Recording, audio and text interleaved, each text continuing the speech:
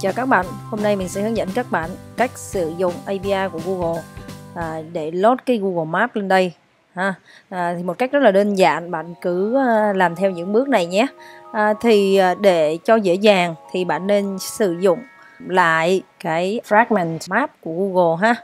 Thì bạn sẽ sẽ theo các bước là à, chuột phải này, à, mở fragment ha, bạn chọn cái Google Maps fragment rồi thì ở đây nó sẽ sinh ra cho mình những cái à, SSA ha. À, rồi một cái link thì bạn copy cái link ngay dòng số 7 này.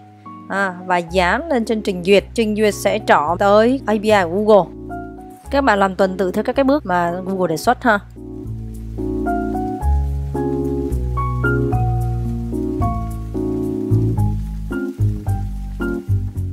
Chọn uh, project name. Ở đây có chưa có thì mình đặt cái mới thôi ha rồi bạn cứ next cho mình.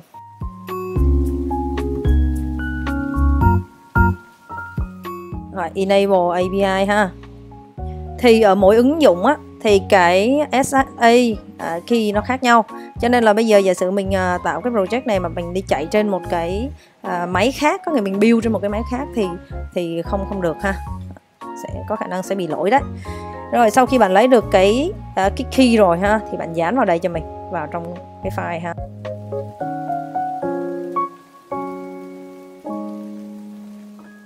Tiếp theo mình sẽ vào Android Manifest XML để mình uh, lần lượt uh, add vào các cái metadata uh, và cấp quyền nhé.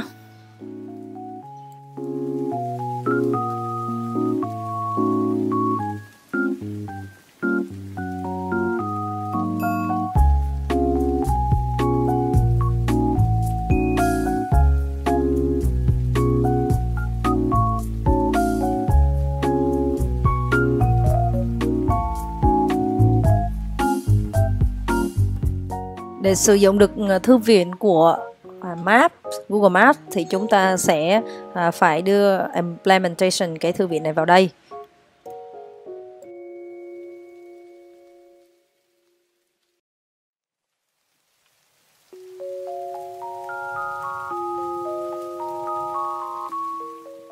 Và đừng quên cấp quyền cho ứng dụng ra Internet nha.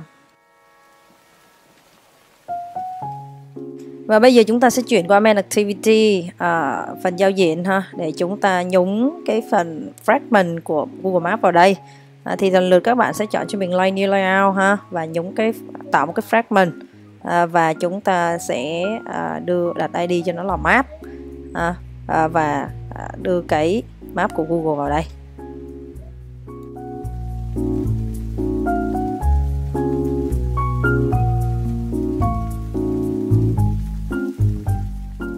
Rồi chúng ta chuyển qua main activity.java và ở đây chúng ta lần lượt implementation. Một cái interface để có thể gọi map đó chính là on map ready callback ờ, và kế thừa lại cái fragment activity. Vào đây để chúng ta có thể hiển thị được Google Maps lên cái activity này ha.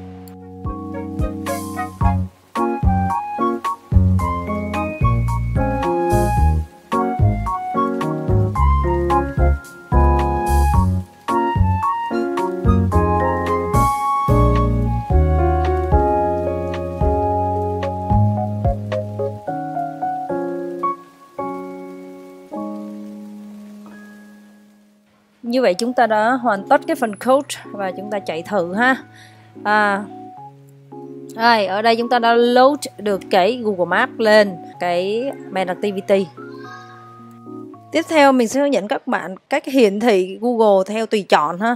Ví dụ như theo vệ tinh hoặc là theo cách hiển thị thông thường vân vân.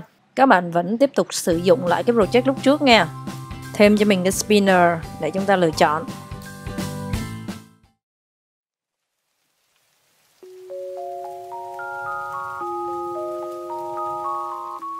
Bạn lần lượt viết các cái hàm để liên kết giao diện uh, và đổ dữ liệu vào cho spinner ha.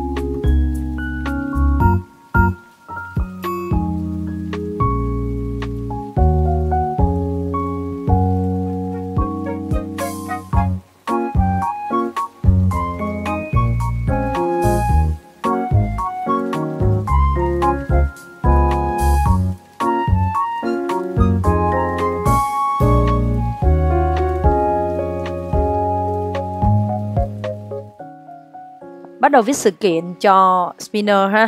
À, thì chúng ta sẽ sử dụng cái sự kiện là set on uh, item selected listener. Có nghĩa là khi chọn vào một cái item thì sẽ làm việc gì? À, thì ở đây chúng ta sẽ à, có bốn chế độ hiển thị đúng không ạ? Thì chúng ta sẽ tạo cho mình cái switch case ha.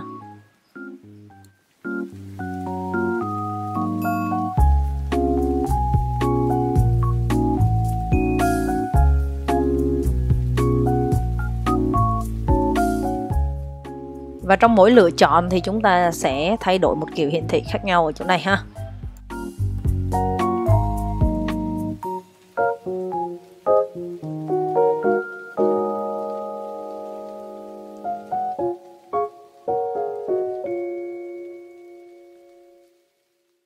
Rồi, chúng ta chạy thử xem sao nè.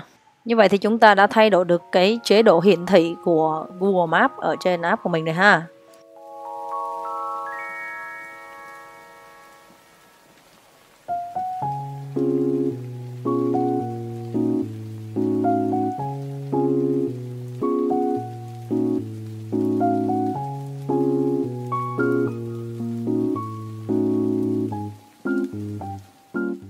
Bây giờ chúng ta sẽ sử dụng các đối tượng shape để tương tác với Google Maps các bạn nha. Mình tạo sẵn một số vị trí rồi ha. Vậy cái à, vị trí này lấy như thế nào mình sẽ hướng dẫn các bạn nè. Rồi, các bạn sẽ lên Maps uh, Google ha. Ví dụ bây giờ mình sẽ lấy uh, cơ sở 1 ha. LHU chẳng hạn. Thì uh, sẽ tìm đến được cơ sở 1. Vậy thì bây giờ à, đã có ghim trên này rồi thì chúng ta sẽ click chuột phải vào cái marker này ha và chúng ta sẽ copy. Đấy, bấm như thế này thì đã sao chép vào bạn nhớ tạm rồi. À, và như vậy thì các bạn sẽ quay qua à, phần Android Studio để bạn dán cái tọa độ này vào.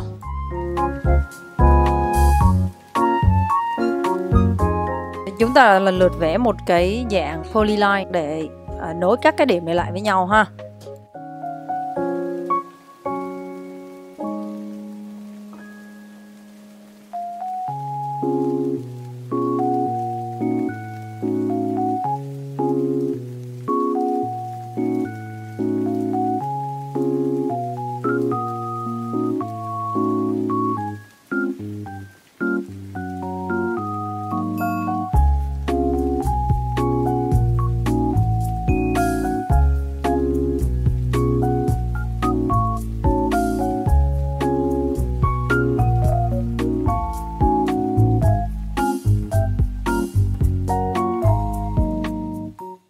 Ta lần lượt vẽ các cái hình tròn tại các cái vị trí, ha.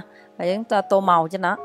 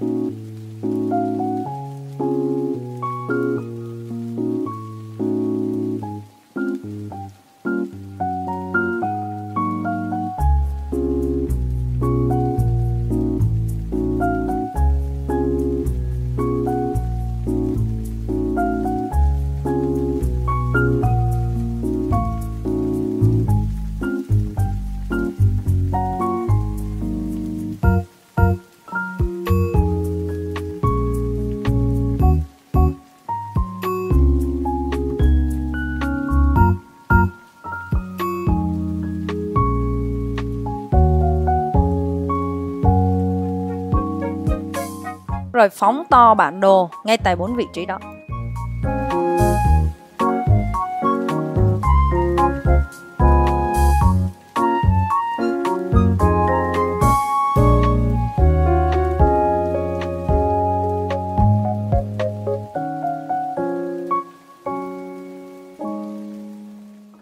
nhưng mà chúng ta đã vẽ được cái đường thẳng nối các điểm lại với nhau, dạng line ha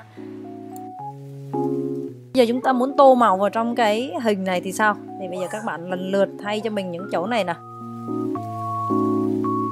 chúng ta sẽ thay polyline option thành polygon ha.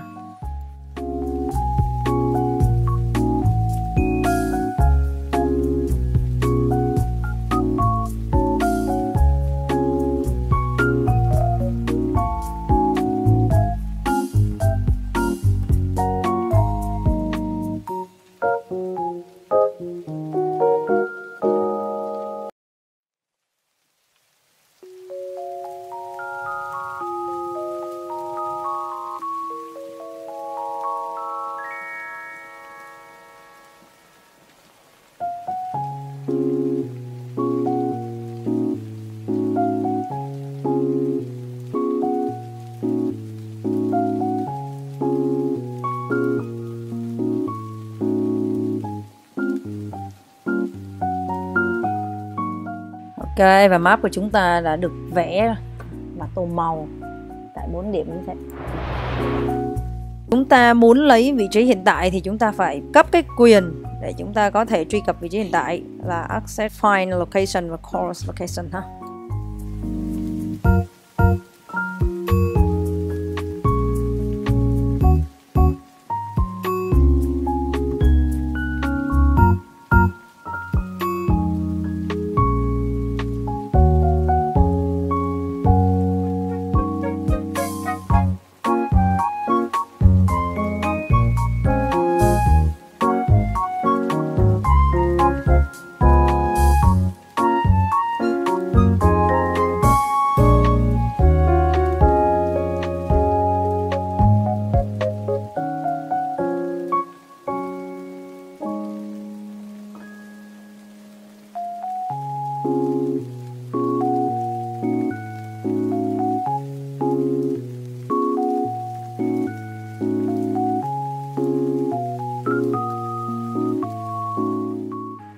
Ok, như vậy thì chúng ta đã lấy được vị trí hiện tại rồi ha.